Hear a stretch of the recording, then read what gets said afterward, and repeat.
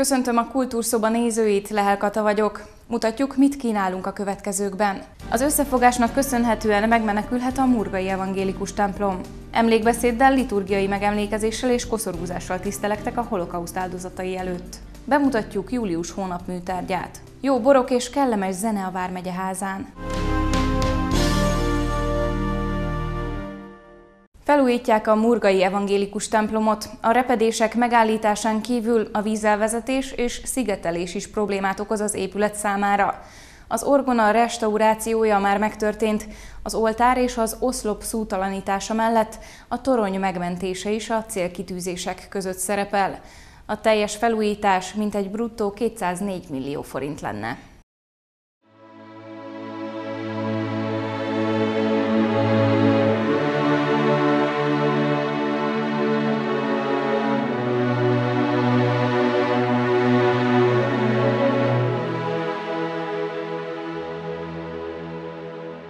Murga települése már nem a régi fényében tündököl. Az egykori sváblakosok elköltöztek, a falu elnéptelenedett. Az épületek gazdátlanná váltak és elhanyagolt állapotba kerültek. Ez lett a sorsa az evangélikus templomnak is, aminek megmentésén Balog Margit történész dolgozik. A Murgai Evangélikusok templomát 1786 és 96 között építették, tehát egy jó tíz éven keresztül épült, köszönhetően annak, hogy második József 1781-ben kiadta a türelmi rendeletet, amely lehetővé tette, hogy a nem katolikusok is nyilvánosan gyakorolhassák a vallásukat, e, olyan korláttal még a türelmi rendelet kiadásának pillanatában, hogy amennyiben száz e, felnőtt vállalja, hogy eltartja a templomot, annak a lelkészét, tehát nem mennek e, adományokért könyörögni a Bécsi udvarhoz, illetve az volt egy szigorú feltétel, hogy még nem lehet központba építkezni, csak a legbelsőre. Ez a magyarázata annak, hogy ez a templom itt Murgán belül, meg másutt, ahol hasonló korú evangélikus templomot találni, az ilyen eldugott helyen található. Akkor a menet közben, ahogy épült, időközben engedélyezték azt, hogy legyen tornya, legyen harangja, tehát mire elkészült a templom, akkor már ezekkel az elemekkel is kibővült, tehát egy meglehetősen kis impozáns épület jött létre, de a maga belsejében egy nagyon arányos és aranyos, én egy kis ékszerdoboznak szoktam nevezni, mert ha bejövünk és körbenézünk, akkor meglepődnek általában az emberek, hogy nem is gondolnák, hogy kívülről tipikusan egy barokk templom, ahol ilyen típusú barokk templomot látni Dél-Dunántúlon, meg másutt is az országban, de a belsejében szétnézvén azért az egyedi különlegességeket is észre lehet venni. A legfontosabb különlegessége a templomnak, hogy a hálás murgaiak azért, hogy felépítették Istenházát, a karzatmelvét képei között egyet szenteltek második József uralkodónak, egyet pedig Luther Mártonnak, aki az evangélikus egyház elindítója, a maga korának legnagyobb reformátora volt. Ezt a két képet aztán a négy evangelista ábrázolása, majd ó és új szövetségi jelenetek követik. A karzatmelvét képei között kettő van, amely egy növényi ornamentikát ábrázol, azok precízek, feltehetően tanult festő készítette, de többre tanult festő megfizetése nem igen futotta, tehát a többi képet azt már egy anatómiátban járatlan, a festésethez autodidakta módon értő Vándor Viktor festhette, valamikor azt már a 19. század közepén a hangvetőn, olvasható egy évszám, 1844, ugyanez a dátum az egyik padnak a háttámláján is előfordul, tehát valószínűleg eltelt egy bő négy évtizednyi időszak, mire ennek az evangélikus közösségnek az anyagi erejéből arra is telt, hogy már a belső díszítést és a bútorzatot is elkészítessék. A szószékoltár egy főlátvány, ami uralja a templomnak a belsejét. A készítője talán kicsit elmérte az arányokat, mert a tetején egy koronának kellett volna lennie, de az már nem fért be, lemaradt róla.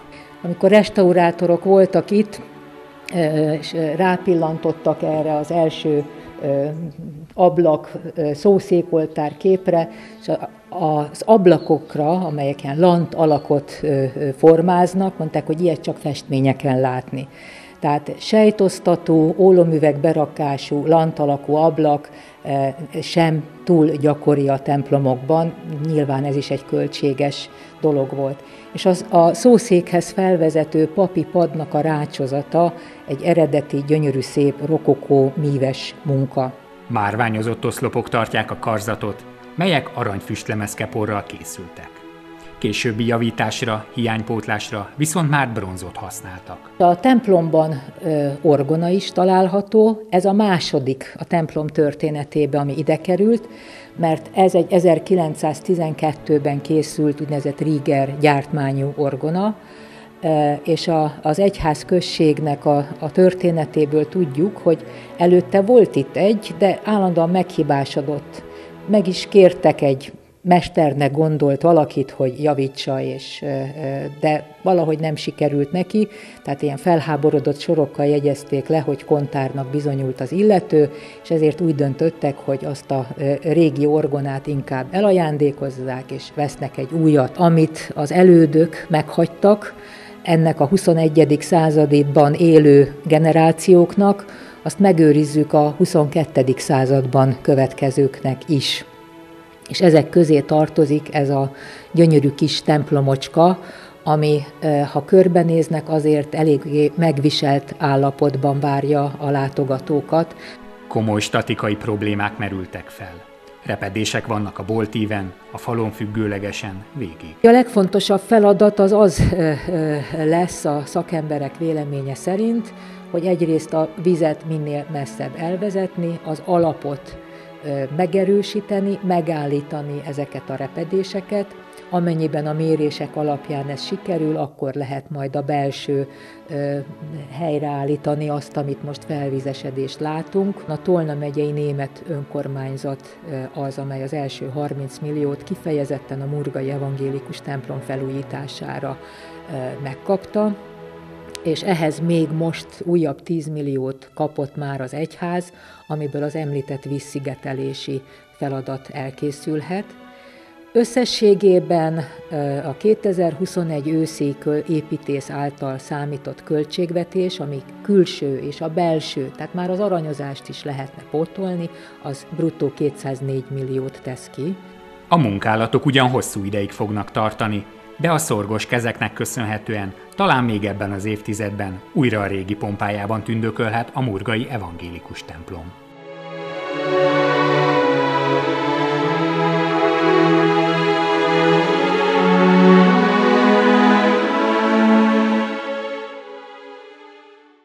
Szexárdi Magyar-Izraelita Baráti Társaság és a Szexárdi Izraelita Hitközösség, valamint Szexárd megyei jogú város önkormányzata tartott közös holokauszt megemlékezést a Tolnai megyeszékhely művészetek házában.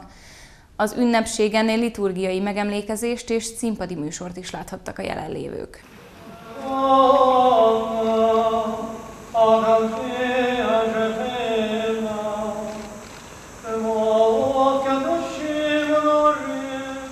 Koszorúzási ünnepséggel ért véget a holokauszt megemlékezés, melyen Szexárd megyei jogú város tisztviselői is elhelyezték a kegyelet virágait az emlékműnél. A város a Magyar-Izraeli Baráti Társasággal együttműködve minden évben megrendezi, megemlékezik a holokauszt borzalmairól. Gyakorlatilag 600 szexárdi és környékbeli lett itt elhurcolva. Ez nagyon nagy tragédia, és gyakorlatilag felvetődik bennünk a kérdés, hogy kellőképpen, megfelelő minőségben, idézőjelben mondva a minőséget, meg tudunk-e emlékezni erről a borzasztó eseményről, ebbe a tévejgő el kényelmesedett Európába, mert látjuk azt, hogy mellettünk háború zajlik, nagyon-nagyon sok ember borzasztó helyzetbe kerül, és nem tudom, hogy vesszük-e a fáradtságot, és megemlékezünk a pultunkról, és természetesen szembe tudunk nézni azokkal a nehézségekkel, ami ránk vár, mert gyakorlatilag történelmet írunk, történelmet építünk a mindennapjainkban, és ezzel kell elszámolni nekünk az utódi, utódainknak, és abba bizom, hogy talán rádöbbennek az emberek arra, hogy a múltból való építkezés, a jelen és a jövő elképzelései, azok teljes egészében összhangba tudnak kerülni, és ilyen borzalmakról méltóképpen tudunk megemlékezni. A szexádi zsidóság deportálásának 78. évfordulójának alkalmából tartott eseményen az emlékbeszédeken kívül liturgiai megemlékezés is volt. Mint az országban mindenhol ugye így megtartják ezt a megemlékezést, és gyakorlatilag Szexárdon azért van az általában július első, második vasárnapjára esően, mert akkor kezdődtek meg 1944-ben Szexárdról a zsidóknak a megsemmisítésre, az elvitele, a deportálásra. Mivel ez a megemlékezés ez közösen történik Szexárd megye jogú várossal, a Szexárdi Zsidó Hitközséggel és a Szexárdi Magyar Izrael Baráti Társasággal. Így a megemlékezés első része az egy városi megemlékezés. A szervezők zenés színpadi előadással is színesítették a megemlékezést. Éva erős volt, szókimondó, sokat vitatkozott apjával. Sosem törődött bele, hogy azért legyen igaza neki, mert ő a férfi, az apa, a családfő. Az állandó viták már gyermekként megerősítették és megkeményítették. Megtanulta, hogyan járjon túl egy fölötte álló ember eszén. Tartjuk ezt a megemlékezést két okból. Az egyik, hogy emlékezzünk, a másik, hogy emlékeztessünk. Nagyon röviden talán annyit, hogy emlékeztessünk arra, hogy ilyen népírtás többet ne történhessen meg semmilyen okból, se vallási, se származási, se nemzetiségi, se politikai, tehát ilyen, ilyen tömegírtás, hát Európában az 6 millió ember élete volt. Magyarországon 600 ezer, és Tóna megyébe Szexádon 600 ember jelentett Tóna megyébe, Szexárdon és környezetében. A városi megemlékezést követően a zsidó közösség tagjai számára egy vallási jellegű programmal ért véget az ünnepség.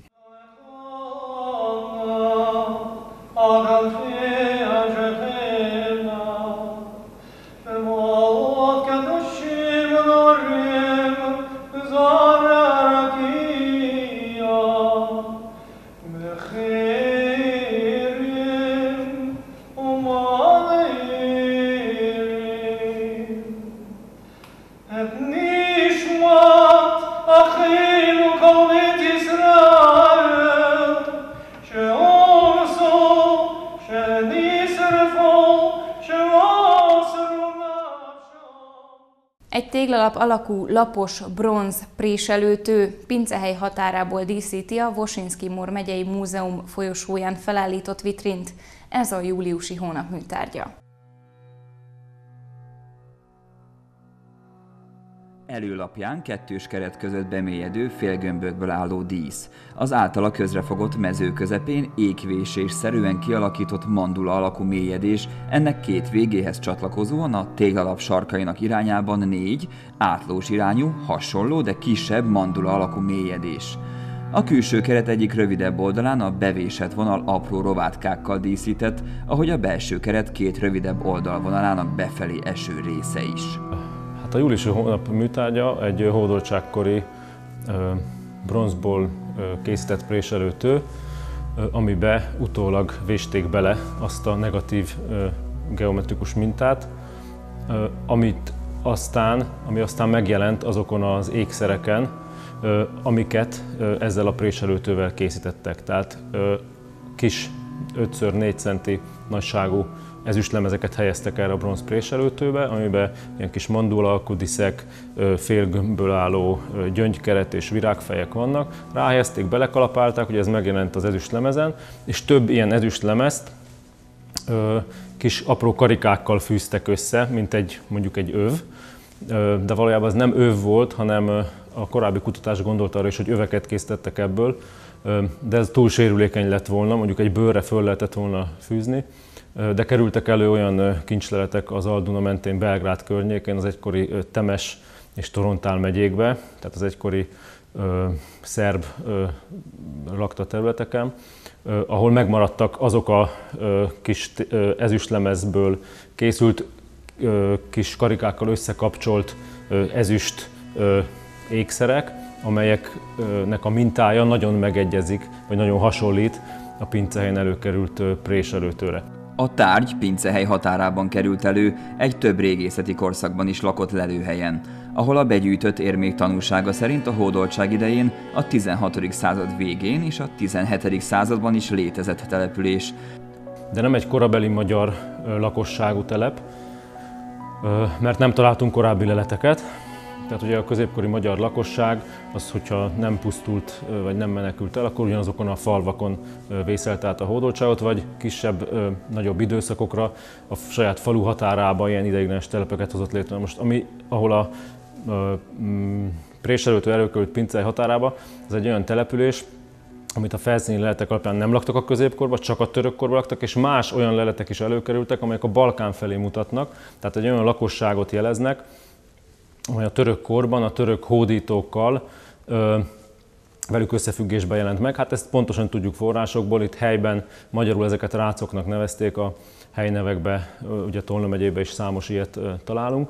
És Például az érmek, amiket itt találtunk, az is nagyon érdekes, mert elég sok török ezüst pénzt, úgynevezett akcsét találtunk, ami a korabeli magyar faluhelyeken nem igazán jellemző, ugye a török is magyar denárba, tehát magyar pénzbe szedte az adót, itt pedig tele van akcsékkal, ez is mutatja, hogy ez valahogy a ö, törökök kötődő népesség. Ugye a Pincehelyen, ami a lelőhelyünktől egy másfél kilométerre van légvonalban, ott volt egy török palánkvár, tehát simán lehet, hogy ezek, ezek a, akik itt laktak, kapcsolatban voltak a, tör, a pincei török palánkvárral, ott szolgáltak, ezért is van itt nagyobb mennyiségű akcseforgalom. A leletek között kiemelt helyet foglal el az itt bemutatott hazánkban párhuzam nélküli bronzpréselőtő, amelyel vékony, többnyire valószínűleg ezüstből készült lemezkéket díszítettek.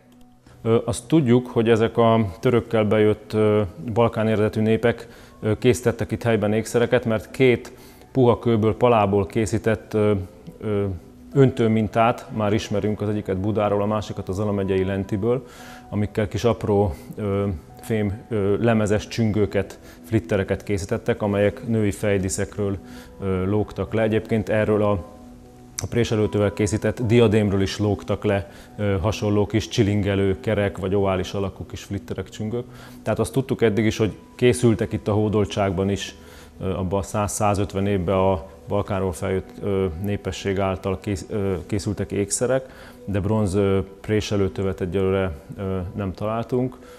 A préselőtő hátlapja az erős fizikai behatás a sok használat következtében eldeformálódott, sarkai lekerekítettek, élei enyhén íves vonalúak. Oldalra kitüremkednek, egyik rövidebb és hosszabb oldalán az oldalra merőleges rövid behasadás látható. Ugye ez egy nagyon pici zsebbe hordható kis ö, alkalmatosság, 4x5 centi, a súlya 20 deka, ez bárki vihette magával zsebbe, és mondjuk egy kemény fára helyezve már tudta is készíteni az ékszert, vagy azokat a lemezeket, amiket aztán összefűzve az asszonyok fejdiszen hordtak. Szerbekről, bosnyákokról van szó, hogyha nagyon le akarjuk egyszerűsíteni, és hát főleg kereti keresztényekről, tehát ortodoxokról, de vannak köztük mohamedánok is, akik áttérnek. És jellemzően a 16. század végén ez még egy erősen félkatonai népesség, akik egy ilyen csatlakozott segédnépként jönnek, de a 17. század elején már, ez látható a magyar írott források alapján, nagyon sok helyen letelepszenek, falvakat alapítanak, és tulajdonképpen adóznak nem csak a töröknek, hanem az elmenekült magyar földesuraknak is, akik rendszeresen leküldik a katonáikat, hajdúikat, hogy szedjék, szedjék be a pénzt. Nagyon sok olyan összeírás van, ahol le van írva, hogy X faluban rácok laknak, vagy magyarok és rácok laknak. És hát a, a történet vége tulajdonképpen, ahogy Pincein is az, hogy a Kuruc szabadságharc idején, ugye Rákóczi alatt 1703 és 11 között ez a balkán eredetű népesség részben vagy jó részt a az osztrákok oldalára áll, tehát a kurucok ellen fordul bizonyos remélt kedvezmények érdekében, és hát akkor van egy olyan háború tulajdonképpen, amikor a kurucok, akiket csak tehetnek, kiűznek innen Tolna megyéből. Egyes történészi becslések szerint a török kiűzésekor, tehát 1686-ban a megye lakosságának a fele kétharmada szerb ajkú, tehát balkáni származású. Ezt talán így gyakran elfelejtjük, amikor természetesnek veszük, hogy Tolna megyében magyarul beszélünk.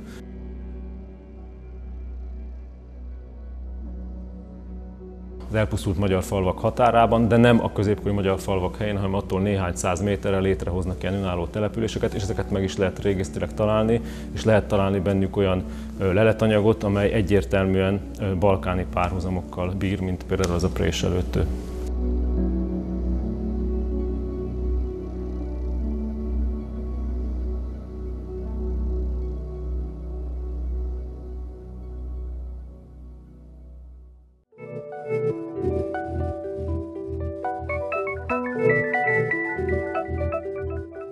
Zenék és finom borok élvezői lehettek azok, akik ellátogattak a Szexárdi Vármegye házára, a Borokhúrok Fesztiválra. A Szexárdi Gitár Quartet minden esztendőben törekszik arra, hogy különböző stílusok jelenjenek meg a színpadon. Így volt ez idén is, hiszen a középkor muzsikájától a városi bluesig széles volt a paletta.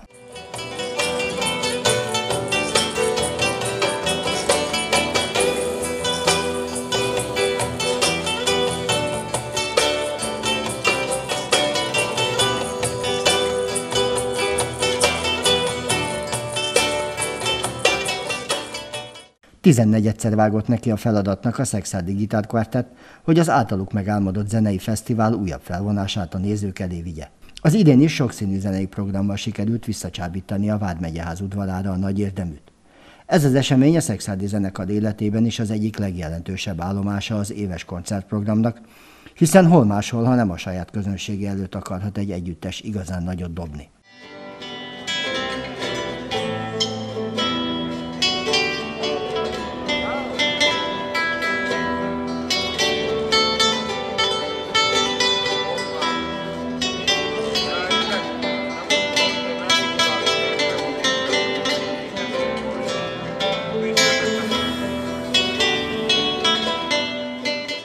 Az elmúlt 14 év hozadéka az, hogy még mindig csináljuk, mondja Csele Lajos, a fesztivál főszervezője. 14 az egy szép szám, nem volt egyszer összehozni, de még mindig működik, és majd vannak is egyre jobb zenészek jönnek, és jó hangulatos fesztivál szerintem Szexádon. Másik János mindig meg akartuk hívni, és most sikerült, hál' Istennek, és akkor a, a ö, ö, Borostyán együttes is jelentkezett, ők felvidéki barátaink, hogy szívesen eljönnének, és ez a kettő így meghatározta, hogy mi lesz a vonal.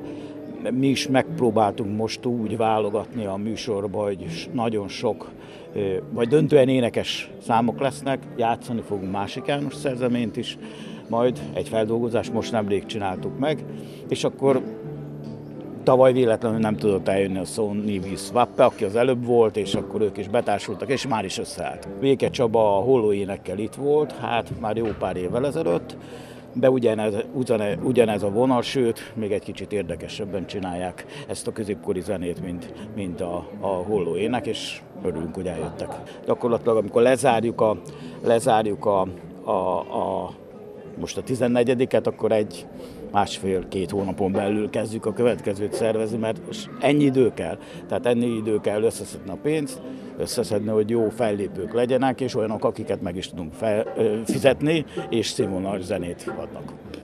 A Sony Vius Vappé a középkori sarából életre keltett ládmás semmire kellők bandája, ödök vándorlásra és az útjukba esők égtelen hangorkánnal való sanyargatására ítélve egyazon eszközök által bűnhődve és egyszer mind büntetve a hasonló kárhozatra szántakat. Mondja magukról a már emlegetett Béke Csaba. Na ennél azért sokkal élvezetesebb volt a középkori muzsika. De hogy jött az útjukba a régi zene? Hasonló rendezvényeken, illetve hát nem ilyen rendezvényen, mint most vagyunk, hanem középkori fesztiválon találkoztunk vele. Igazándiból és régi énekmondókkal tudnám a nevüket mondani, sajnos már nincsenek köztünk, nemrég mentek el Kobzos Kis Tamás, Kátai Zoltán például, és aki még köztünk van, aki mindezeket kiásta, ez pedig Kecskés András, a, a Kecskés Együttesnek a vezetője. Találkoztunk ezekkel az emberekkel, akik históriás énekeket énekeltek, és régi zenéket játszottuk, és megéreztük ebben az erőt, a, a tartást. Igazándiból játszottunk például az elején egy masó számot, én szoktam ezt középkori rock and rollnak, középkori punknak is nevezni, mert ugyanak az energiák benne vannak, ha az ember hozzányúl, akkor észreveszi.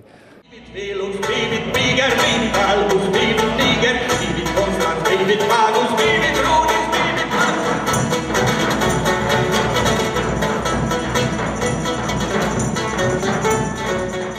mindenki csak a, a legfrissebb trendi dolgokra mozdul. Gondolok a szervezőkre. Tehát egyszerűen a zenekarunkat nem merik beengedni fesztiválokra, ha odáig eljutunk, hogy, hogy meghívnak, akkor szinte száz százalék, hogy visszahívnak utána, mert tényleg, ha hallottátok, ez energia, szerintem nagyon sok energia, ami kimegy, vissza is jön persze és egy, egy változatosság, tehát hogy a, a, a mai kor zenéjehez képest egy, egy más atmoszféra, egy más dimenzió. Mégis félnek a, a változatosságtól, leginkább középkori fesztiválokra, várakba, várakban lévő rendezvényekre hívnak meg persze, de, én, de egyébként játszottunk már motoros fesztiválon is, hál' Istennek, és nagyon-nagyon élvezték, tehát mi nem ragaszkodunk hozzá egyáltalán. A magyar uh, irodalma nem olyan erős, itt uh, leginkább egyházi dallamokról van szó, gregorián énekekről, a leg, legrégebbiekről, de Európa szerte, viszont hát azt lehet mondani, hogy ezer körültől, akkor már a franciák nagyon jeleskedtek lejegyzésben is, orgánumban, több szólam is elkezdődött, és attól az időtől kezdve nagyon-nagyon a merítés. Tehát van mihez nyúlni az embernek élete végéig szerintem, amit még szeretne onnan elénekelni. A Bodog Hurok Csele Lajos szerint az évek alatt elérte azt a formát és méretet, amit hosszan működtetni lehet. A választék bő és egyre bővül. Bor is akad még a pincében, úgyhogy lassan neki készülhet a gitárkvartett a 15. megszervezésének. Köszönöm figyelmüket, viszontlátásra!